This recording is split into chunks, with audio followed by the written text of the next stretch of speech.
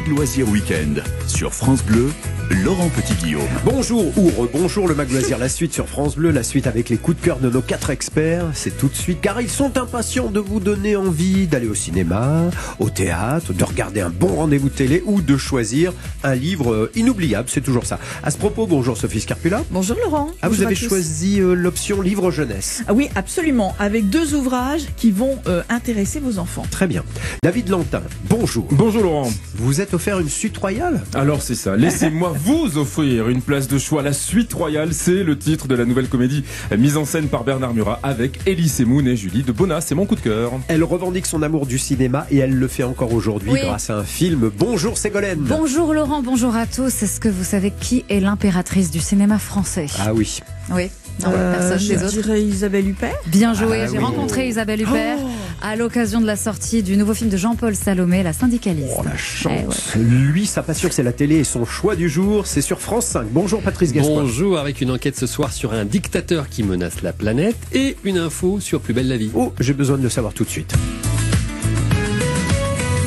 Alors, avant une soirée au théâtre pour rire, avant un film avec la plus grande comédienne française, on passe au choix lecture de Sophie Scarpula. C'est la suite du Mag Loisir. Sophie, encore une fois, euh, vous avez choisi deux livres. Ça s'adresse au jeune public. Oui, et le premier est une très belle idée. Ça s'appelle Je découvre l'art moderne. C'est publié chez Amalté et c'est signé Guillaume Bottazzi. Alors Guillaume Bottazzi, c'est un artiste. Il a exposé quasiment partout dans le monde. Il a exposé chez nous en France en 2021.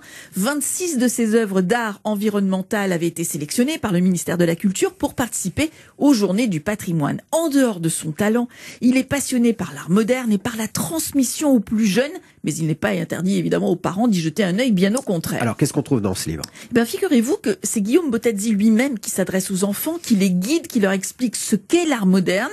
Il se présente tout d'abord, leur dit qu'il est artiste peintre depuis une trentaine d'années, leur parle de son atelier, leur raconte l'histoire de l'art qui a commencé à la préhistoire avec les peintures, par exemple, retrouvées dans la grotte de Lascaux, un site, leur dit-il, aujourd'hui classé au patrimoine mondial de l'humanité. Et puis il donne également avec l'accord des parents, précise-t-il, des liens où l'on peut visiter virtuellement le site. Et puis il explique les différents mouvements comme le pop art, l'impressionnisme, Ah bah, etc., etc.